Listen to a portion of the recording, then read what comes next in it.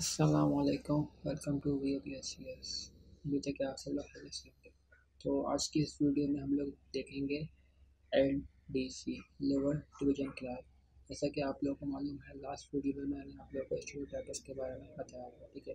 तो अब हम चलेंगे एल डी सी ठीक है तो जिन्होंने वो वीडियो नहीं देखी, वो पढ़ाई बना हुआ होगा क्लिक करके वो वीडियो जाके देखें ठीक है?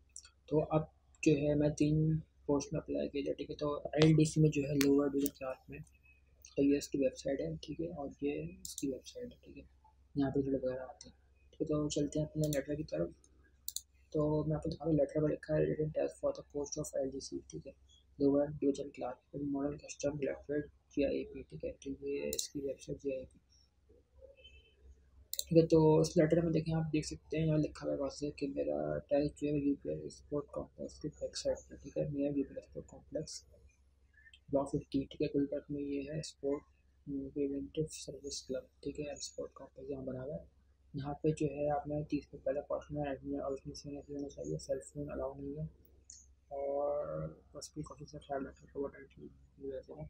ठीक है तो ये आपका जो है लेटर आया था, ठीक है, इस तरीके से। तो अब इसमें क्या था, ठीक है तो लास्ट टाइप है इससे काफ़ी अलग था, ठीक है, इसमें रश बहुत था। सबका एक साथ टेस्ट हुआ था ठीक है? इसके बाद टेस्ट में जो है शुरू टेस्ट में शिफ्ट थी ठीक है? कि तीस बच्चे गए, उसके बाद फिर तीस गए, फिर तीस के बाद फिर तीस, ठीक है? इस तरीके से था। तो इसमें जो एक साल एक ग्राउंड था, उसके लिए सबका टेस्ट हुआ था ठीक है? तो इसमें काफ़ी टाइम लग गया, एक घंटा तो सेट ज़्यादा लग गया एक ग्राउंड था, उसमें सबको चेयर बैठाया ठीक है?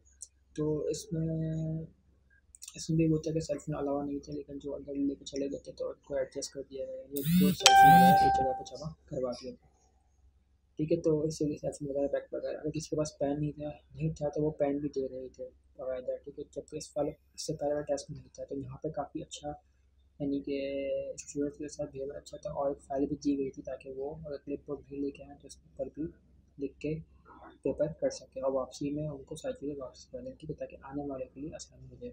ये काफ़ी अच्छा सिस्टम था उनका तो थोड़ा वेट करना पड़ा, लेकिन उसके बाद लाइन में वैकेंट हो गए। तो इसमें ये था इस टेस्ट में कि आपके टोटल फोर्टी फाइव एप्लीक्यूज थे। है अमूमन होता है कि अगर आप यूट्यूब पर सर्च करें, इसमें एक चौंका देने वाली चीज़ ये है कि अगर आप यूट्यूब पर सर्च किया तो L D C lower two हज़ार चार के एम सी क्यू जो है, वो आपका पचास पास के एम सी क्यूज होते हैं। और इसमें से दस पाकिस्तान स्टडी दस ये जी के दस इस्लाम इंग्लिश और इस तरीके से होते हैं, और मैथ इंटेलिजेंस के होते हैं ना। तो आप जाके सर्च करें। लेकिन इसमें कुछ हमें कुछ यही थी कि ऐसे एम सी होंगे लेकिन वो देखिए टोटली एम सी चेंज थे। वहाँ पर एक्सटर्नल घूमे तो वही कहते कि आपका पेपर बहुत आसान है। हम समझे, ऐसे मज़ाक कर रहे लेकिन जब पेपर देखा तो वाकई बहुत ईजी था, लेकिन अनएक्सपेक्टेड था। ऐसा सोचा नहीं था कि ऐसा सी है तो यही वजह है कि मैं वीडियो बना रहा हूँ, ताकि आप लोग ये एम सी देख लें, बहुत ही आसान है ठीक है, अगर ये मुझे पता होता तो मैं और अच्छा करके आ सकता था। ठीक है तो अब चलते हैं इसके एम सी क्यूज़ की तरफ़ क्या एम सी क्यूज़ थे ठीक है, वेबसाइट आपने लोग देख ली है। एल डी सी जो है इसका टेस्ट हो चुका है, और यू डी सी बाकी तो यू यू डी सी जो है, वो नेक्स्ट वीडियो में बताऊँगा, ठीक है? तो उन्नीस, यानी कि आज की वीडियो कर देखते हैं तो इसके एम सी क्यूज़ क्या अगर मैं आपको दिखा दूँ? ठीक है तो ये मैंने अपनी वीडियो में बनाया है, ठीक है? तो इसको ज़रा समझिए पड़ेगा ठीक है। तो सबसे पहले जो आपका एम सी थे इंग्लिश के, उसके बाद थे आपके मैथ्स वगैरह के, थोड़े बहुत अकाउंट से रिलेटेड थे, उसके बाद आपके मतलब पावर पॉइंट एक्सेल वर्ड के ऐप ठीक है? तो शुरू के जो मैंने एम सी किए थे, वो तकरीबन पंद्रह मिनट में टेस्ट कर लिए थे। फिर पंद्रह मिनट मेरे पास रह गए थे। तो मैंने आधे घंटे का टाइम है। फिर मैंने आगे से स्टार्ट किया जब आगे से मैं स्टार्ट किया देखा वर्ड एक्सेल पावर पॉइंट के एप्लीकेशन तो मैंने फ़ोन जल्दी से कर लिया ये सारे मुझे इसलिए आते क्योंकि मैंने कोर्स किया हुआ है, ठीक है? अमर ऑफ़िस का तो अब जो एफ़ सी मुझे याद है, वो मैं यहाँ पर ऐड कर रहा हूँ। बाकी जो वीडियो देख लें, जो लोग टेस्ट लेके आए तो उनको जो भी एफ़ सी याद है तो वो काइंडली कमेंट में बता दें, ताकि नेक्स्ट ईयर या कभी भी किसी को जब भी टेस्ट देने जाए तो उनको एक आइडिया हो कि एम सी क्यूज़ क्या आए ताकि सबके लिए हेल्प हो जाए, ठीक है? क्योंकि forty five M C Qs थे अगर फोर्टी फाइव स्टूडेंट को देख रहे हैं तो कोई एक एम सी क्यूज़ बता दें तो पूरा पेपर यहाँ कमेंट में सॉल्व हो जाए, ठीक है? तो सबसे पहले चलते हैं अपने सबसे पहले मैं दिया हुआ था कि न्यू फ़ाइल की शॉर्टकट की क्या है, ठीक है। बहुत ही आसान मैंने एम सी क्यू जाएँगे तो कंट्रोल और भी ऑप्शन दिए हुए थे, लेकिन मुझे याद नहीं, लेकिन ये क्या control F control N control S दिया हुआ था। तो आपको पता होना चाहिए कि कंट्रोल एन से न्यू फ़ाइल शॉर्टकट की बनती है, ठीक है? शॉर्टकट किसी के कंट्रोल एन न्यू फ़ाइल की। अब चलते हैं नंबर टू तो उसमें एक सवाल ये भी था कि हेड ऑफ़ फुटर कौन सा टाइप में आता है। अगर आप यहाँ जाके देखें इंसर्ट में, ठीक है, मैं वर्ड में काम कर रहा हूँ इंसर्ट में आप जाएँगे तो इंसर्ट में ऑप्शन आता है, आपको हेड ऑफ़ फुटर आप देख सकते हैं हेड है फुटर ठीक है तो ये आपका ऑप्शन दिया हुआ था। अब तीसरे सवाल में आपको दिया गया था थोड़ा सा घुमा कर दिया गया था इसकी शॉर्टकट की नहीं पूछी थी। तो अगर मैं पे आऊँ तो इसमें लिखा था if the word have small so it is तो कुछ इस तरीके से लिखा हुआ था कि आपको एक समझ ली ये वर्ड है। एक वर्ड लिखा हुआ था ठीक है? मैंने हैव कर लिया तो वो ये कहता है अगर आप हैव लिखा हो उसके आगे वाला जो वर्ड है वो स्मॉल लिखे हो तो हम उसको क्या बोलेंगे?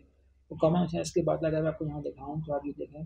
इसका स्पैरो लिखा हो तो उसकी शॉर्टकट शॉर्टकट भी देख लीजिए भी आ, सकती है। तो ये है सबस्क्रिप्ट तो आपको दिखाई दे रहा है कि नीचे नीचे की तरफ़ जा था क्या है सबस्क्रिप्ट ऊपर की तरफ़ जा था क्या हुआ सुपर स्क्रिप्ट ठीक है? तो ये इसकी शॉर्टकट की क्या है? कंट्रोल शिफ्ट प्लस और इसी क्या है?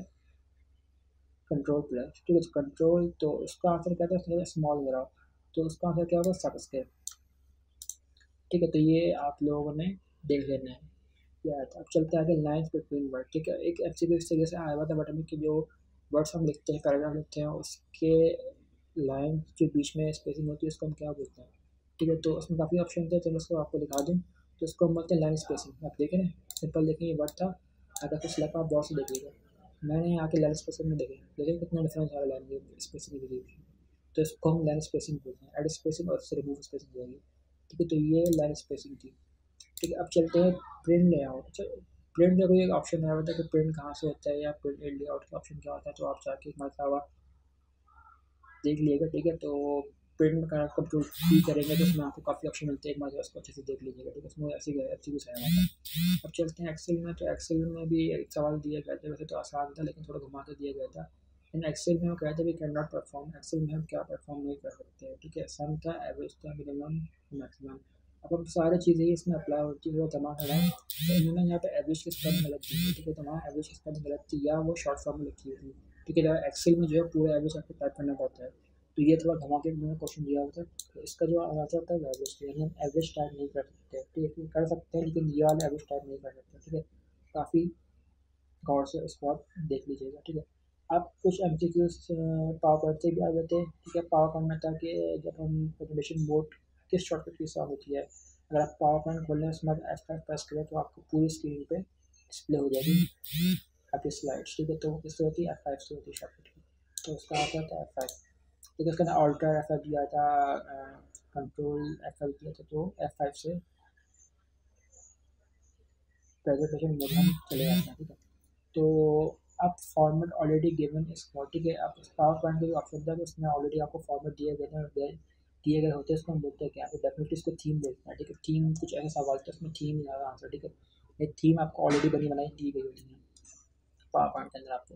तो कुछ एक सवाल है, ये था एक्सेल में हाउ वी सिलेक्ट एक्सेल ठीक है? हम एक्सेल के अंदर क्या चीज़ सेलेक्ट कर सकते हैं? तो आपके एक एक में था सेल एक में था शीट एक में था ऑल और एक में था नन ऑफ़ ठीक है तो डेफिनेटली जो है, हम हम ऑल पे क्लिक करेंगे, क्योंकि हम एक्सेल में शीट को भी मतलब सिलेक्ट था कॉपी था।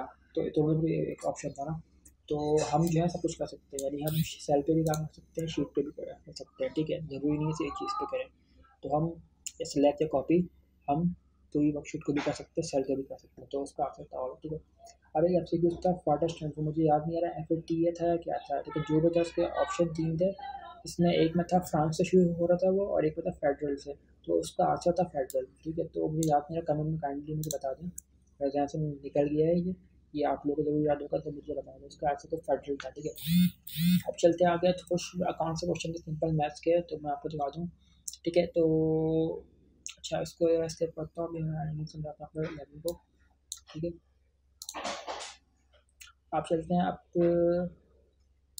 इसको भी छोड़ा है मैं समझाता हूँ मैथ को क्या यहाँ पे प्रिंट व्यू में बैकग्राउंड नज़र आता है, ये ऐसा कुछ ठीक है?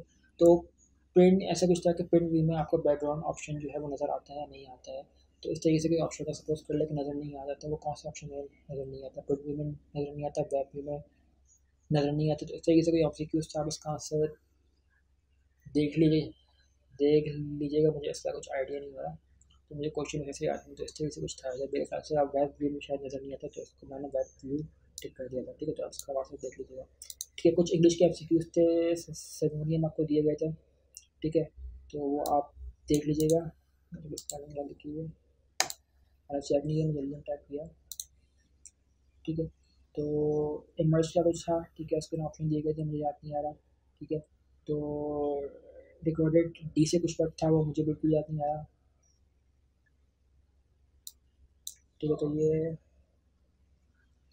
तो इंग्लिश में कुछ ऐसे वर्ड तो कुछ भी आ सकते थे सिनोनिम वगैरह दिए गए थे, दो दिए गए थे, ठीक है? तो उसके आंसर आप देख लीजिएगा और कमेंट में बताएँ, जो देखेंगे ठीक है तो ये था हमारा स्पेलिंग वैल्यू के कांग्रेस के ठीक है तो अब चलते हैं अच्छा अकाउंट्स के कुछ सवाल थे इसके अंदर के फ़र्स्ट करें। प्रिंट हो गया आपको।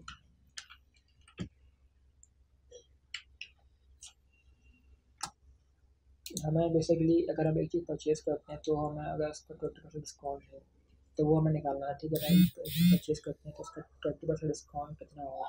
ठीक है तो ऐसे एम सी क्यूज दिए गए थे इसी के यहाँ पर लेके मैं आपको समझाने की कोशिश कर रहा हूँ। तो एक क्वेश्चन दिया गया था कि अगर पाँच हज़ार का ट्वेंटी परसेंट क्या होगा ठीक है? तो इससे तो मुझे आइडिया हो गया था ठीक है? तो अब फाइव थाउज़ेंड में ट्वेंटी परसेंट क्या होगा? तो देखिए कैलकुलेटर वगैरह कुछ भी अलाउ नहीं था ना तो आपने कुछ आपको बताया इसके भी बहुत तरीके या तो देखिए सिंपल कैलकुलेटर में जो आता है परसेंटेज निकालने के लिए इसमें। ठीक है? पाँच हज़ार का हम कर लेंगे ट्वेंटी से। ठीक है? इसका जो भी आंसर आएगा ना तो जो भी आंसर आएगा फ़र्स्ट करें क्या उसको इसको जो आंसर आएगा, उसको हम डिवाइड कर देंगे डिवाइड कर देंगे हंड्रेड से, ठीक है? तो इस तरीके से आपका आंसर जो है वो आपको आएगा हज़ार। ठीक है? तो ये एक तरीका है मालूम करने का। अब आपके पास नहीं है तो आप क्या करें? आप यहाँ पर लिख के ट्वेंटी पूरा सॉल्व करें। Zero zero zero zero zero zero आप कंप्यूटर करना आता होगा। Zero zero two zero zero two two five ज़ा टेन ठीक है? तो हमारे पास क्या आ गया? एक, दो, तीन, चार, पाँच। पाँच ज़ीरो आ गया। ठीक है? आप इसको डिवाइड बाई कर लेंगे हंड्रेड से तो क्या होता है? डिवाइड बाई पता है। दो ज़ीरो से दो ज़ीरो करके तो हमारा आंसर क्या है हज़ार ठीक है तो तरीके से होता है, इसका और तरीका क्या है, जो और आसान है, आप सपोज़ कर लें, पाँच हज़ार। ठीक है मल्टीप्लाई कर परसेंटेज परसेंटेज का कैलकुलेटर में ऑप्शन होता है, वैसा होता है कभी। हंड्रेड इससे क्या हुआ तो हंड्रेड को दो ज़ीरो कट गया हंड्रेड को दो ज़ीरो कट गया एक ज़ीरो से ये एक ज़ीरो से ये फाइव फाइव और फाइव